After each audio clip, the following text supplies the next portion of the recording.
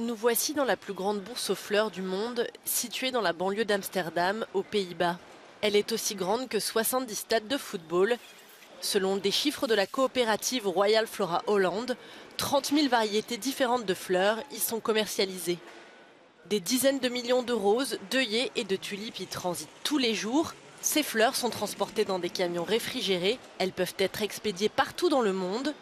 Elles viennent aussi de différents pays et possèdent un bilan carbone élevé.